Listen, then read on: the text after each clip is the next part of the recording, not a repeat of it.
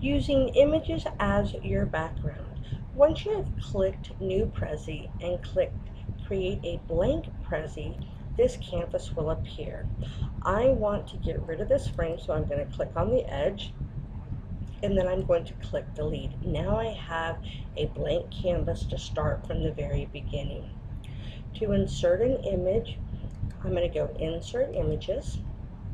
I can either type a word in here in search and it will search Google Images and then you double click on the image and it will insert it into your Prezi or you can go to select files and you can actually click on the image that you have already saved in your pictures or your documents wherever you have it saved and click open. Prezi will then insert that image into your Prezi just like it would any other image. But to use it as a background, you want to enlarge this picture big enough so that in presentation mode, it pretty much covers the whole background. And then you will add all of your frames and diagrams, images, videos, and so on, on to, into this image. So um, I want to make sure that this image is is in the path so that it goes to it the very first time you click on present. So to make this image part of the path, I'm going to move my mouse right to the edge where you see that light blue line. I'm going to right click and click add to path.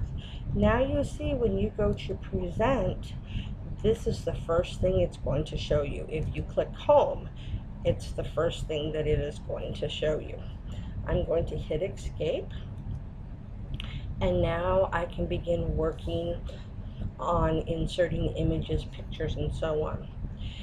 You also see what is going to be um, shown right here by this line. So I can kind of move my picture down and over and if you look here it's going to show me what is going to be um, shown when I hit that home button.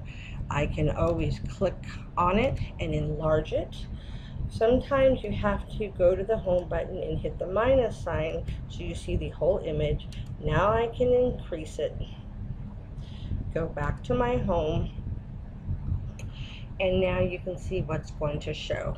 At this point, I can now begin adding um, frames, whether they're a bracket, a circle, invisible frame. I can draw my arrows, my lines. I can insert images, symbols, diagrams right onto this frame.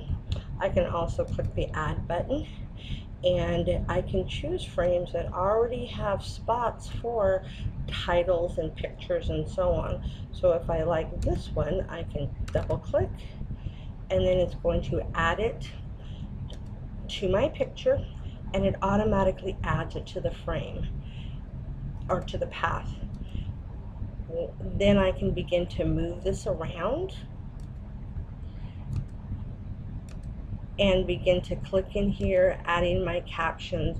I can click to replace the pictures um, and so on.